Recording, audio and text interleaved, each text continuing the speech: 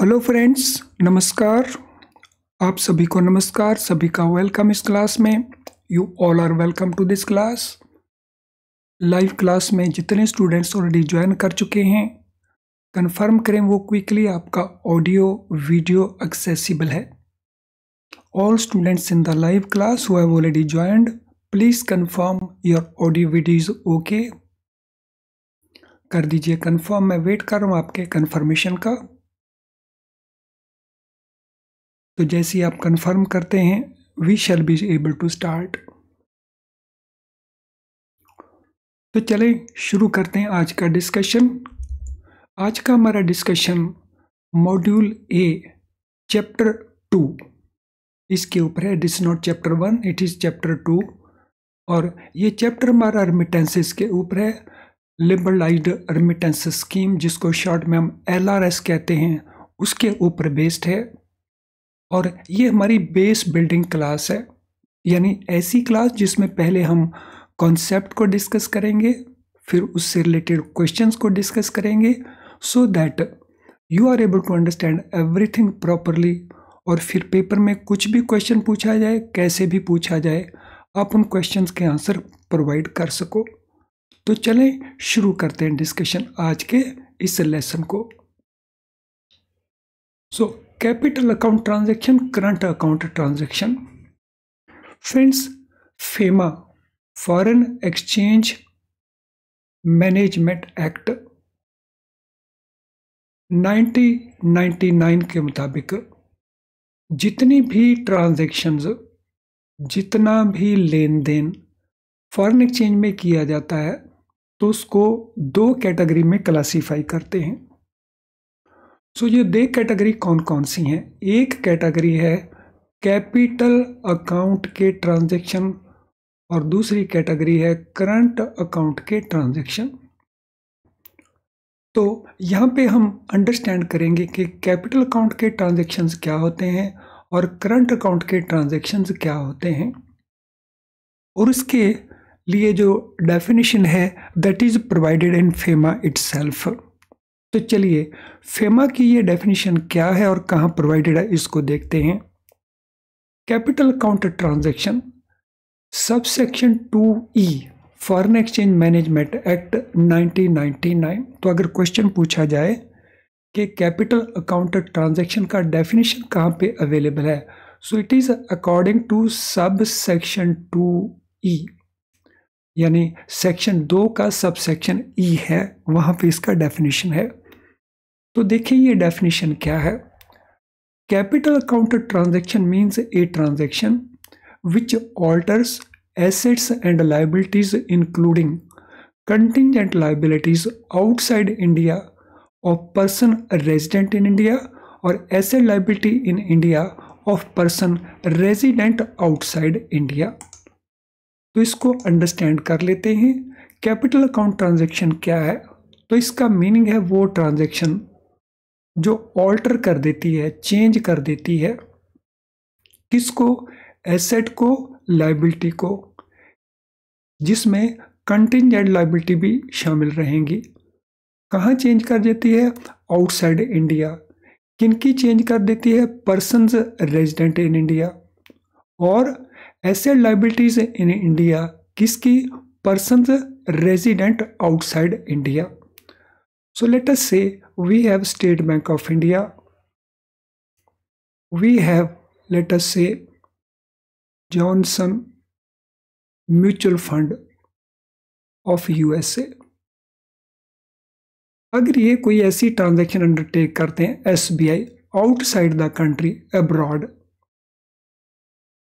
जिससे S B I की या तो एसेट में कोई चेंज आती है या लाइबिलिटी में चेंज आती है।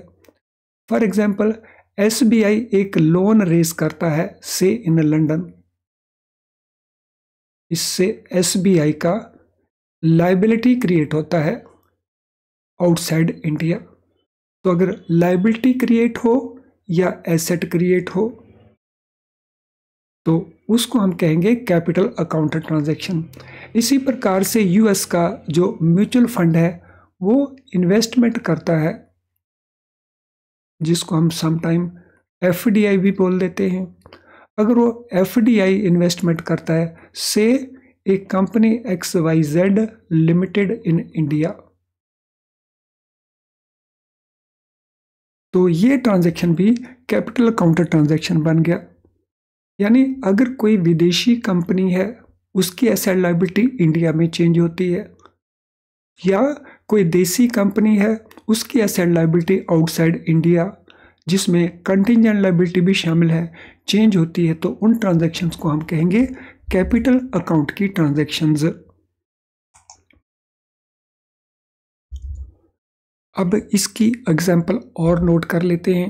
A resident individual by investing abroad in equity of overseas company अगर कोई रेजिडेंट इंडिविजुअल है इंडिया में है लेटर से जेड है, वो इन्वेस्टमेंट कर देता है सिक्योरिटीज़ में इक्विटी में, कहाँ किसी ओवरसीज कंपनी और उसके बदले में उसको शेयर्स मिल जाते हैं तो इससे उसका एसेट क्रिएट हो जाता है outside India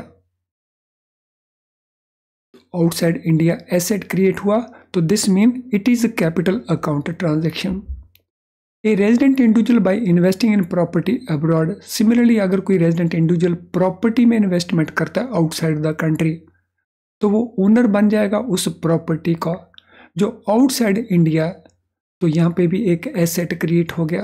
तो दोनों ही सिचुएशन में एसेट क्रिएट हो गए। तो this also is capital account transaction तो आई एम श्योर हमको अच्छे से क्लियर हो चुका होगा कि कैपिटल अकाउंट ट्रांजेक्शन क्या होती हैं।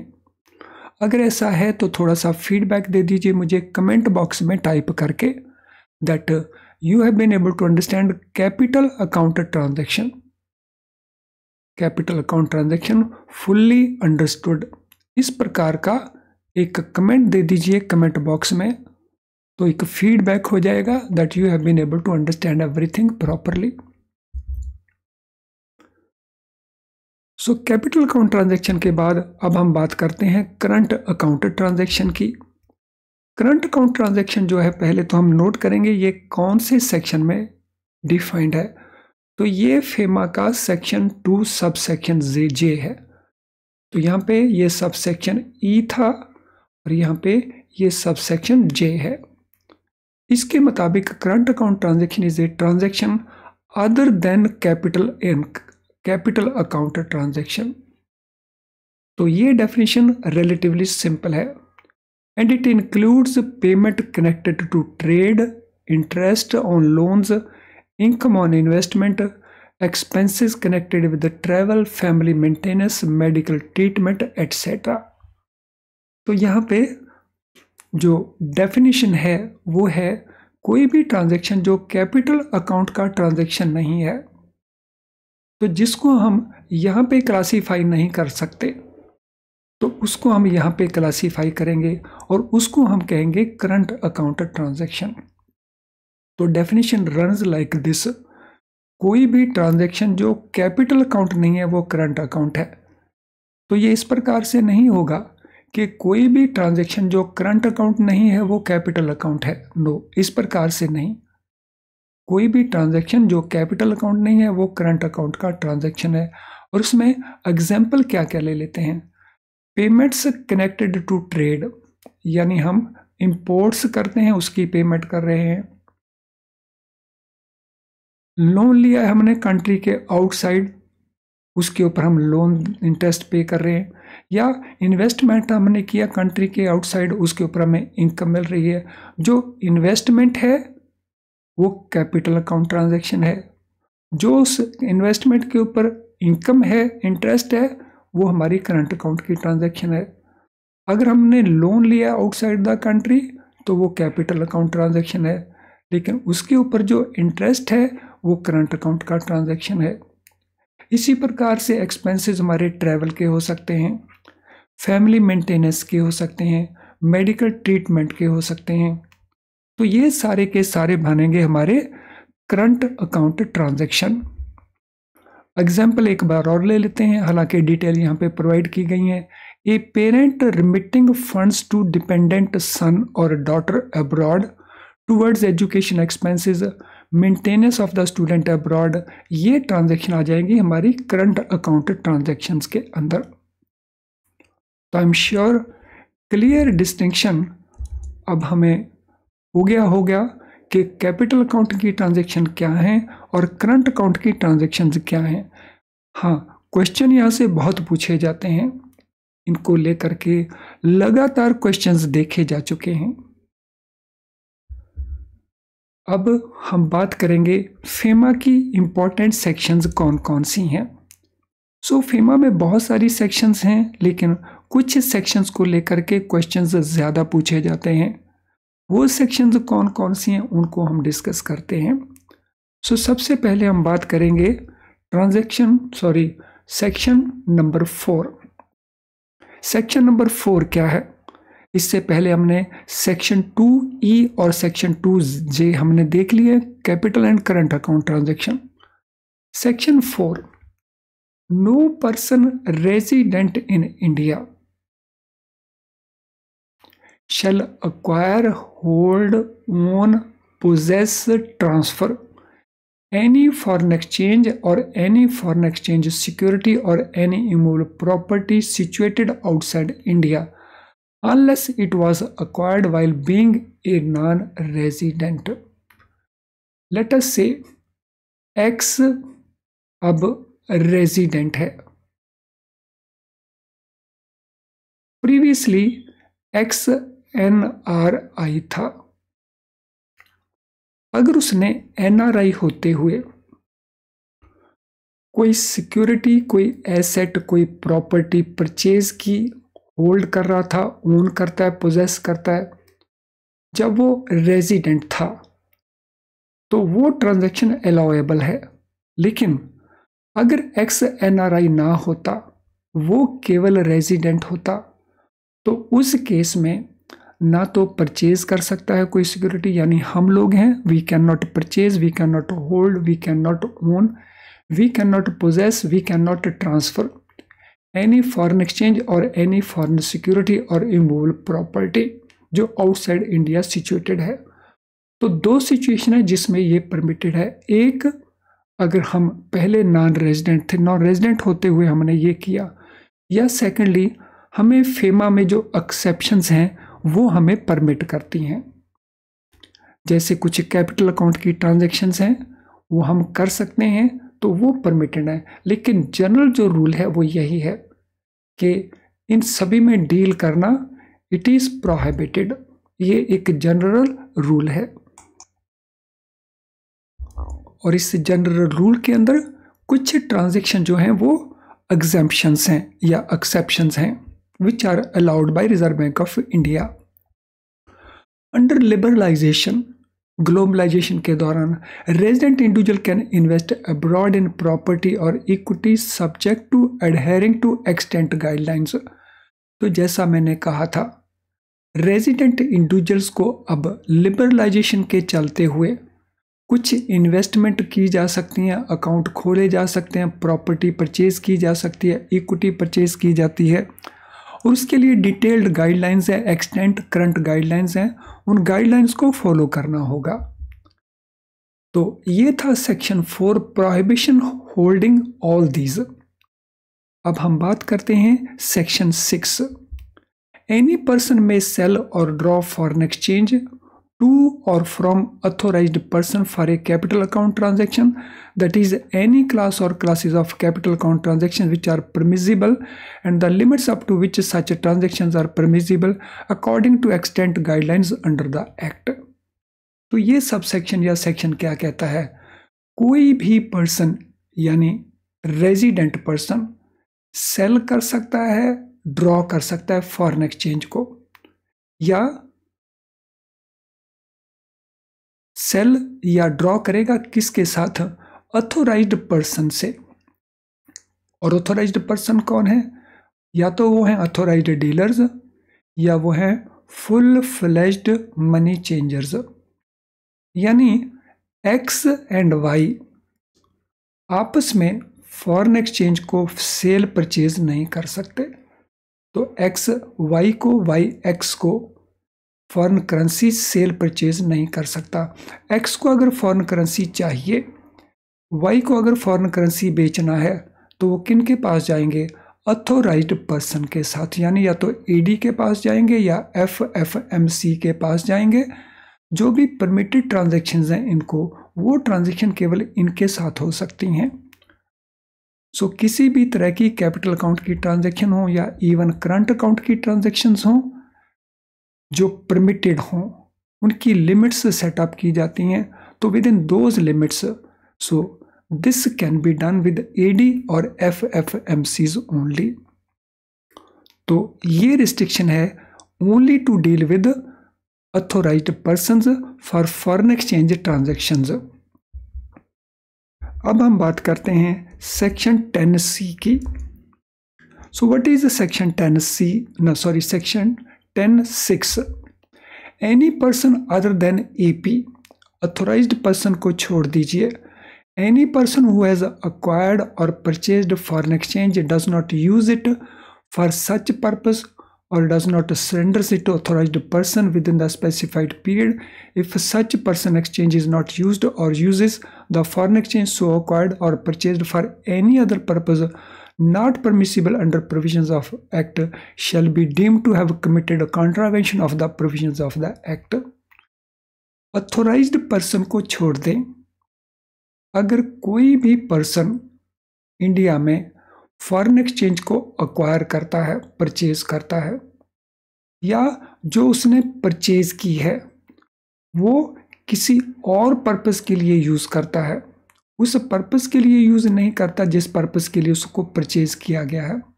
या वो परचेज उसके पास बच गई है, उसको वो सरेंडर नहीं करता है टू द अथोराइज्ड पर्सन और वो भी स्पेसिफाइड पीरियड के दौरान।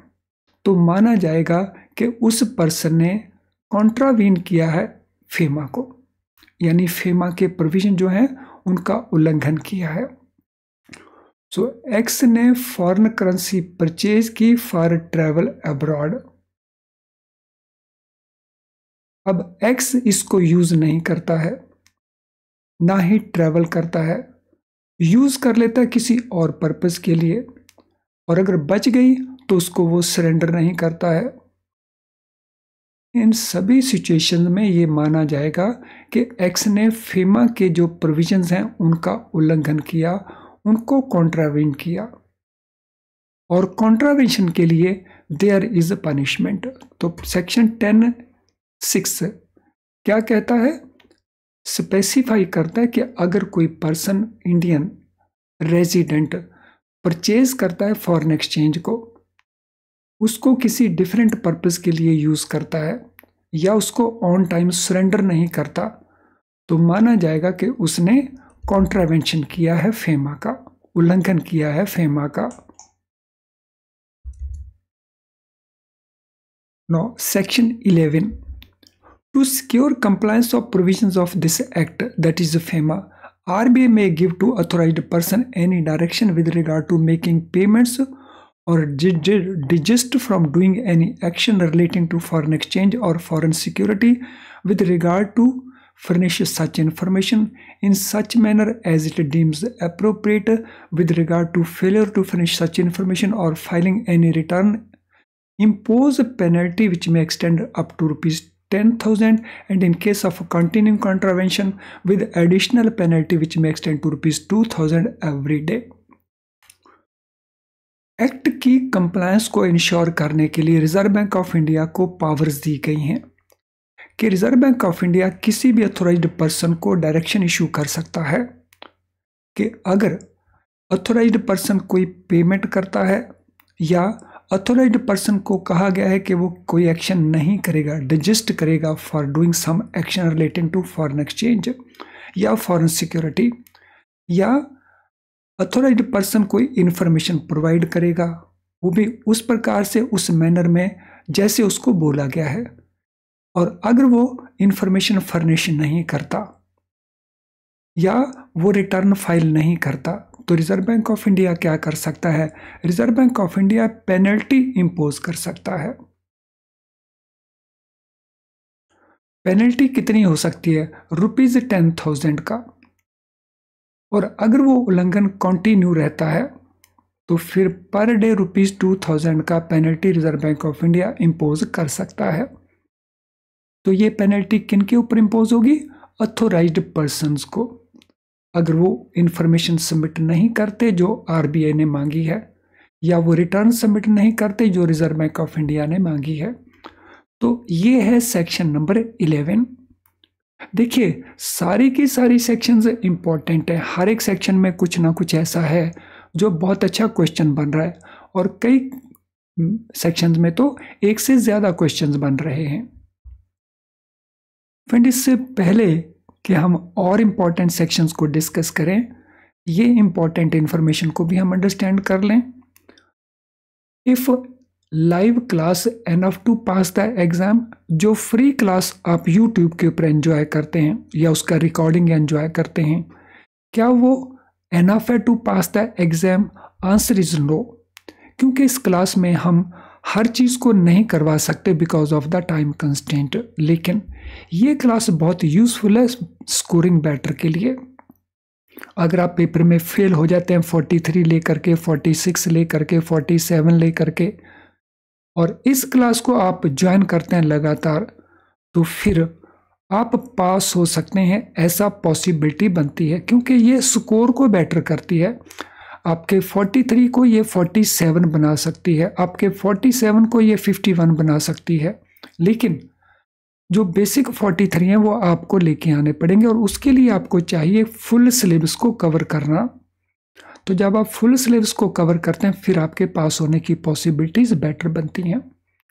सिलेबस को कवर करने के लिए अगर आप I I B F books को यूज़ करते हैं तो उनमें कुछ इश्यूज़ हैं। इशू क्या है? Difficult to understand in books में जो कुछ लिखा है, जैसे लिखा है, उसको अंडरस्टैंड करने में आपको डिफ़िकल्टी लगती है।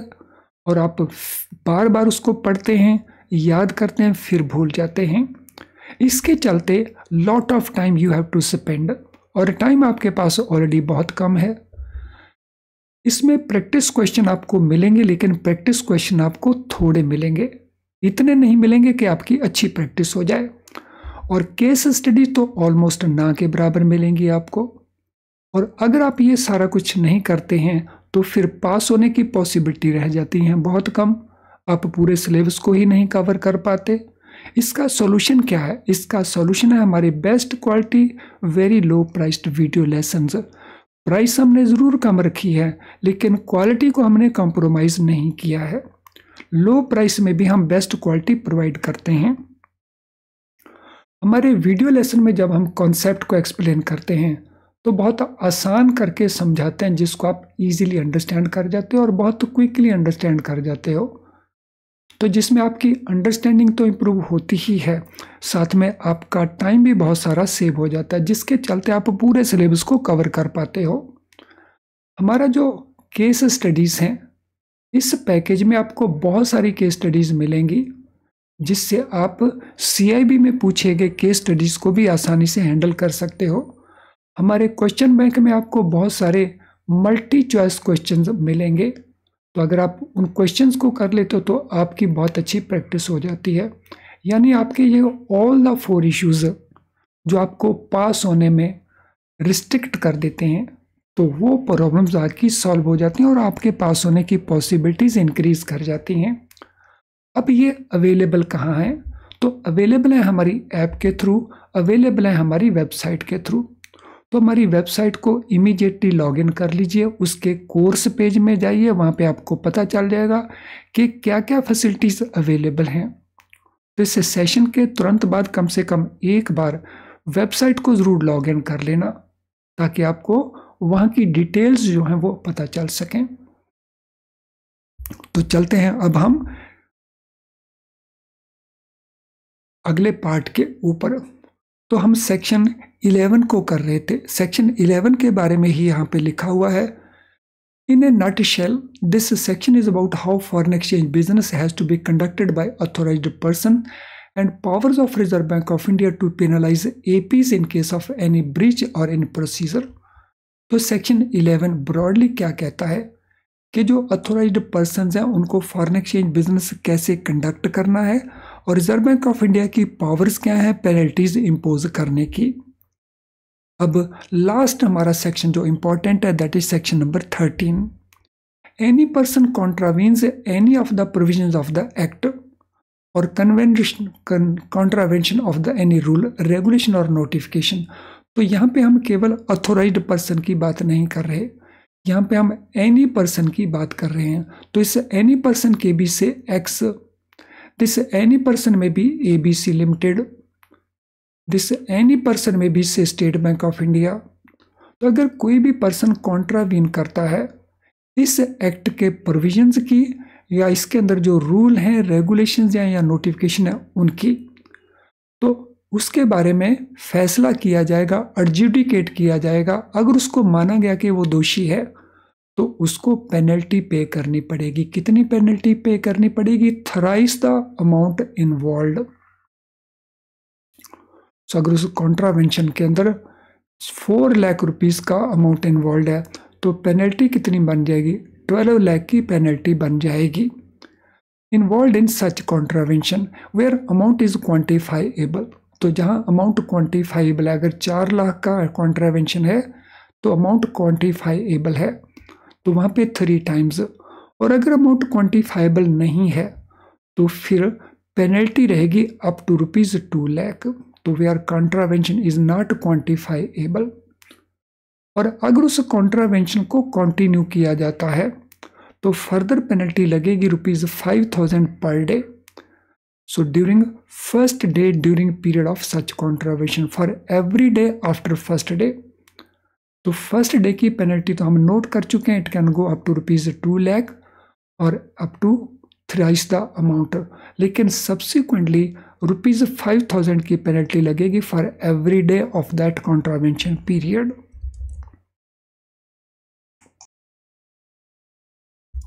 तो अगर हम इसको शॉर्ट में कहना चाहें इन नट शेल कहना चाहें तो ये सेक्शन किसके बारे में है? About penalties which may be impose for contravention of any provision of FEMA so in दोनों सेक्शन में सेक्शन 11 में सेक्शन 13 में बेसिक अंतर क्या है? तो बेसिक अंतर है कि सेक्शन 11 जो है वो अथोराइज्ड पर्सन के ऊपर एप्लीकेबल है और जो सेक्शन 13 है वो किसी भी पर्सन के ऊपर एप्लीकेबल है। और दूसरे, दोनों में जो फाइन का अमाउंट है दैट इज़ एंटायरली डिफरेंट तो ये हो गए इंपॉर्टेंट सेक्शन अब इनके ऊपर बेस्ड जो क्वेश्चन हैं, वो क्या क्या बनते हैं? इतना कुछ हमने डिस्कस किया है तो बहुत सारे क्वेश्चंस भी बनते होंगे। तो ये पहला क्वेश्चन है a transaction which alters assets and liabilities including contingent liability outside India of person resident in India or asset liability in India or persons resident outside India. तो उस ट्रांजेक्शन को हम क्या कहेंगे? Current account transaction foreign exchange transaction capital flow transaction या capital account transaction I am sure अब तो आसानी से आप इसका आंसर दे पाएँगे। तो अपनी कॉपी में आंसर को लिख लीजिए। और अगर आप लाइव क्लास में तो चैट बॉक्स के अंदर आंसर दे दीजिए। कमेंट बॉक्स के अंदर आंसर ना टाइप करें। तो कॉपी में अगर आंसर आपने लिखा है कि ये कैपिटल अकाउंट ट्रांजैक्शन है तो फिर आपका आंसर सही है। क्योंकि जब भी एसेड लाइबिलिटी का इन्वॉल्वमेंट है, वो भी किसी दूसरे कंट्री में तो that is being sure capital account का ट्रांजैक्शन होगा। Capital account transactions are defined under which section of FEMA 1999? Capital account के जो ट्रांजेक्शन है फेमा के किस सेक्शन में डिफाइन किए गए हैं? Section five B section two E section three A section four C तो कहाँ पे डिफाइंड है? कैपिटल अकाउंट ट्रांजेक्शन का डेफिनेशन फेमा के किस सेक्शन में अवेलेबल है? तो रिकॉल करें किस सेक्शन में, कॉपी में अपना आंसर नोट कर लीजिए, फिर आंसर को कंपेयर करिए with the answer I provide. तो this is according to sub section two E यानी सेक्शन टू का सब सेक्शन ई जो डेफिनेशन है फेमा की, ज़्यादातर डेफिनेशन सेक्शन टू के अंदर आपको मिल जाएँगी। तो ये एक क्लू है आंसर देने के लिए। बहुत सारी मिल जाएँगी आपको इसमें। यानी अगर आपको ना आता तो आप ये चांस ले सकते हैं। फ्रेंड्स आज के सेशन से रिलेटेड अगर आपका कोई भी क्वेश्चन हो तो इस वीडियो का जो कमेंट बॉक्स है तो वहाँ पे आप अपने क्वेश्चंस को टाइप कर सकते हो। लेकिन अगर आपकी कोई जनरल क्वेरी है तो ये हमारा ईमेल आईडी है। यहाँ पे आप हमें पोस्ट करिए, हम सूटेबली आंसर करके आपकी हेल्प करेंगे। आज का सेशन अगर आपको यूज़फुल नहीं लगा सेशन तो इसको डिसलाइक ज़रूर करें। लेकिन अगर वो यूज़फुल लगा है तो फिर लाइक करने में संकोच ना करें।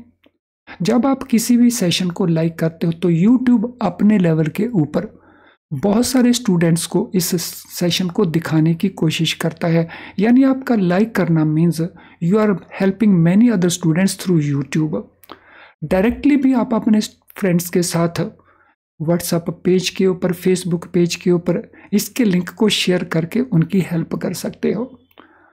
अगर आपको हमारी बहुत सारी क्लासेस उनके लिंक नहीं मिलते हैं तो ऐसा पॉसिबल है कि आपने अभी तक हमारे चैनल को सब्सक्राइब ना किया वो भी बेल आइकन के साथ। तो अभी तक अगर आपने सब्सक्रिप्शन नहीं किया, वो भी बेल आइकन के साथ। तो सब्सक्राइब कर लीजिए चैनल को ताकि हमारे सारे नोटिफिकेशन आपको कॉन्टिन्यूसली मिलते रहें। फ्रेंड आज के इस सेशन से रिलेटेड जो बाकी बचे हुए क्वेश्चंस हैं, उनको हम डिस्कस करेंगे इन द नेक्स्ट पार्ट यानी नेक्स्ट सेशन में उनको डिस्कस करेंगे। तो ज़रूर देखें उसको। तो अभी हम इसको वाइंड अप कर रहे हैं। So thank you friends and all the best